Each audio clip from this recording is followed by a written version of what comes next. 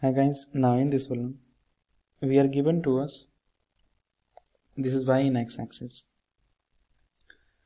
This one is y in x axis.